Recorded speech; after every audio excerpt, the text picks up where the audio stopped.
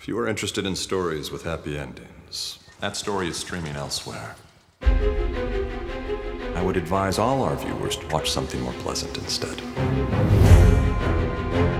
I am Count Olaf, your new guardian. Where are your parents now? We're orphans. Put them to work in the mill. In this economy, children are lucky to have a job at all. Your first impression of me may be that I am a terrible person.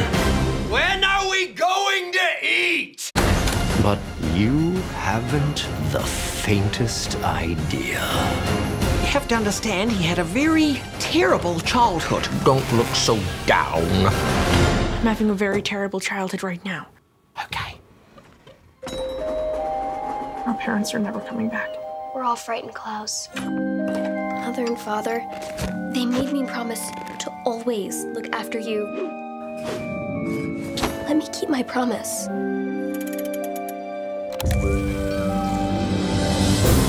You're finally safe now, children. Just as your parents wanted.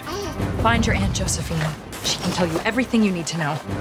Do you live with our Aunt Josephine? I am your Aunt Josephine. Ah!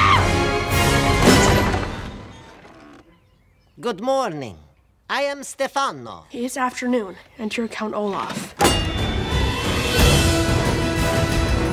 The only reason why Count Olaf hasn't torn you limb from limb is because he hasn't gotten a hold of your fortune. You will never get away with this. The fortune will be mine. Carpe diem. Seize the children. Seize the day. I said nay.